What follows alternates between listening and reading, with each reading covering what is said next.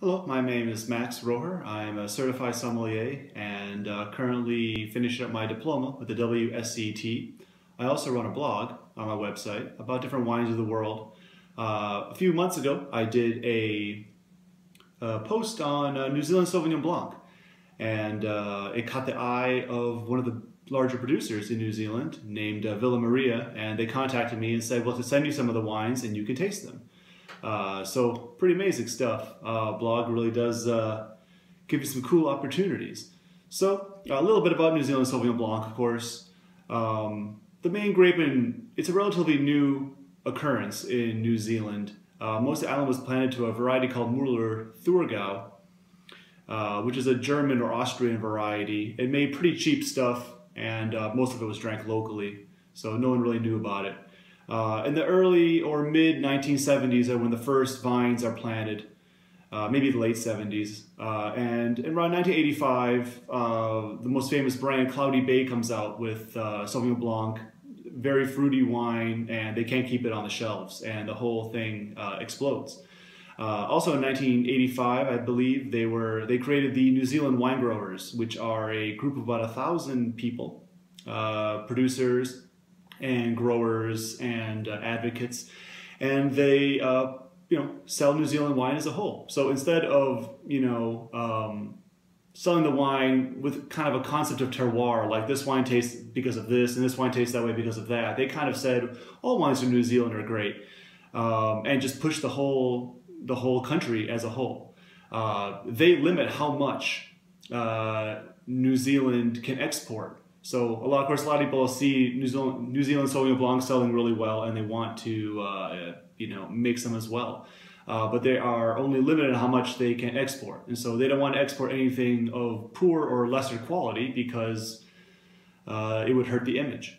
Um, and they don't want to export too much because they'll become a, there'll be a glut or a surplus, and uh, with that. Um, wine would have to be discounted, and then the consumer kind of expects discounts all the time once a wine has been discounted. Um, and so those are some of the you know reasons there. We're going to try four Sauvignon Blancs. This is their whole lineup of Sauvignon Blancs, which is really great. They would send this to me. Uh, I'll explain kind of where they're from. This is a map, here of New Zealand, and as you can see, it's kind of uh, two islands. Uh, these wines come from the South Island, which is down here. Uh, this purple region right here is called Marlborough, and that's where these wines uh, all come from. So that's an area known for Sauvignon Blanc. It uh, makes the majority of the world's of, of the uh, country's wine. So we will try uh, the first one here, which is called Private Bin. This is a wine I have a feeling you can find probably the most common in stores. I'll bring the label up here for you. Villa Maria Sauvignon Blanc Marlborough 2016 and uh, says private bin there on the bottom. So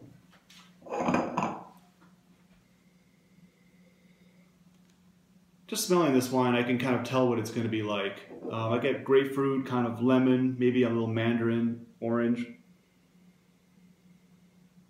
Maybe it's a little bit of uh, like floral note to it too. So I would say maybe like lilacs or something uh, like that. And so pretty simple nose.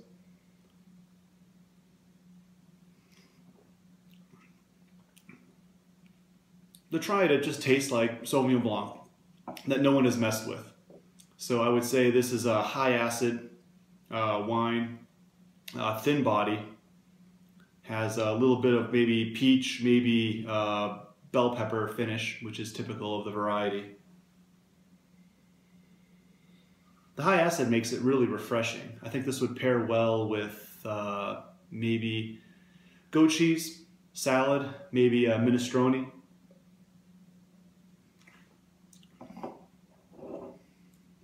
It's a great Sauvignon Blanc. I believe it retails for somewhere around $12.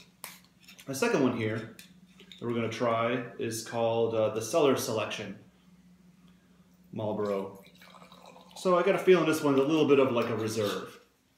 Um, this is kind of the basic one. This one might be a little bit more difficult to get. I'll show you the label as well. Villa Maria Sauvignon Blanc Marlborough, also 2016. And it says cellar selection uh, on the bottom of the bottle. I apologize, it's 2015. Um, so we'll smell this one. It's maybe a touch darker in color. These are mostly pretty uh, kind of lemon green or pale uh, wines, but this one has just maybe a little bit more color on it. Uh, this has a much riper or tropical uh, smell to it. I think uh, like lychee, like uh, pineapple, mango maybe, uh, bananas, uh, soft pear.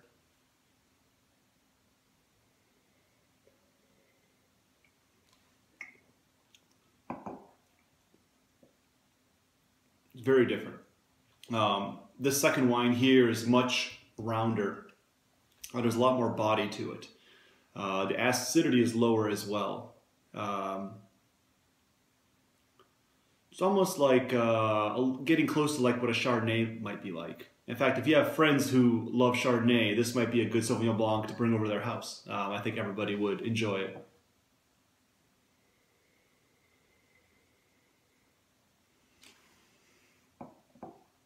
For pairing, I would say this wine with its more body can probably stand up to uh, things like scallops or lobster uh, or fish or perhaps uh, perhaps even chicken. So I would say uh, we're moving kind of in the realm of Chardonnay again.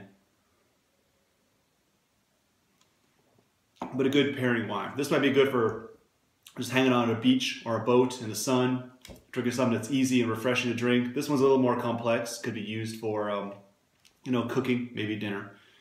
Uh, the third one coming up here is a single vineyard. So there's been a lot of um, people have been have been talking that there's a lot of New Zealand Sauvignon Blanc coming out. Most of it's blends, and people argue that some of them are maybe becoming a little bit generic.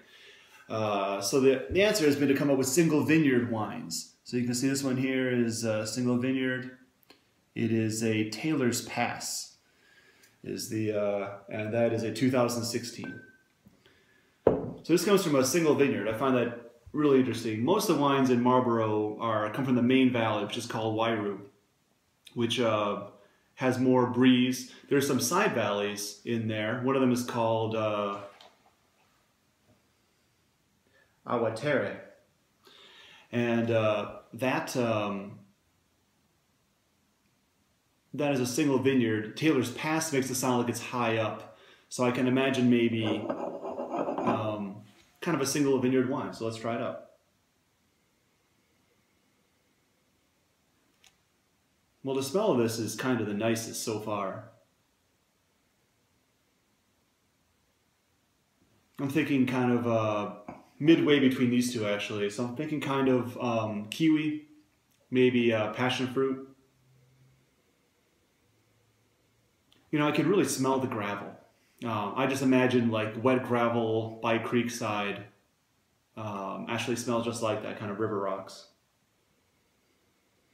If I get a floral note off this one too, I think of just like white flowers in an alpine meadow, kind of a high altitude meadow. Um, comes to mind for me at least.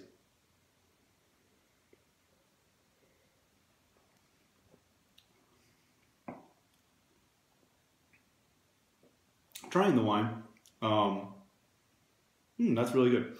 I would say um, it's kind of between these two. This one was kind of high acid and low body. This one was kind of uh, a lot of body, but kind of lower acid. I would say this one's kind of in the middle. So I'll put medium plus acidity, medium plus um, uh, body to it. Um, this one's very different than the other ones. This one's kind of uh, has minerality to it. So we might argue that this one here is the Sauvignon Blanc in its most purest expression with kind of nothing done to it.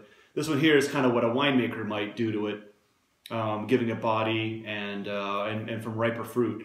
Uh, this is a single vineyard wine. Um, this one has minerality and sense of place. So I can actually taste the stone in here and know that it comes from one place that, you know, tastes specific uh, to this. Um, it's a really great wine. If I was to compare this to like a Chardonnay, I would compare this maybe to like a Riesling. Um, fantastic stuff.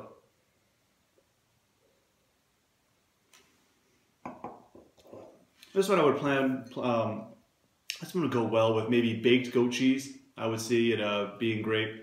Uh, fish, uh, into pork. I can see it's going well with pork with like an apple uh, chutney or something like that. The fourth wine we have here is sparkling. So this is the uh, bubbly Sauvignon Blanc 2016. I haven't had this yet. It's sparkling. So these ones I opened up uh, a few minutes ago just to uh, figure out what kind of order I should taste them in. This one, of course, being sparkling. Want to hear if we can hear the, the pop as I open it. No, not much. So um, let's see a little bit of gas come out.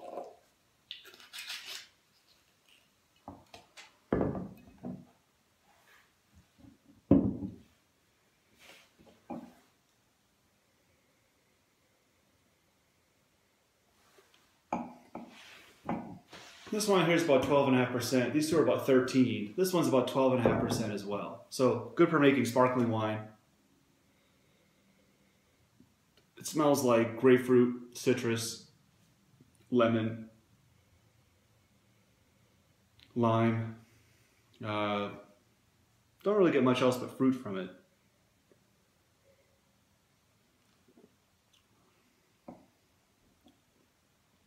But it's pretty small bubbles. I can't say that it's fully sparkling. Um, you can see that it's already gone kind of uh, flat. So uh, it's slightly sparkling, sparkling. Uh, Pétillant or uh, Frizzante, as Italians say, which is kind of a lighter sparkling wine. Uh, has great acidity to it. Acidity is key in sparkling wine. Otherwise, uh, it just tastes strange.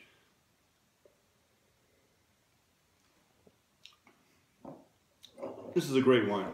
Um, I enjoy this as well. It's just simple. Again, this is sounding similar to the first one. I think it sells for about $15 or something like that. I'm not sure how easy it is to find.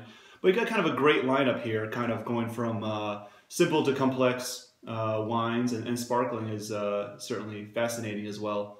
These are um, all good wines, and I'll have a kind of a certain place for them. So I hope you enjoy the video. Thank you to Michael uh, Kirstein for uh, sending me these four wines. Um, and uh, I'll keep making these blogs if you keep watching. Thank you so much.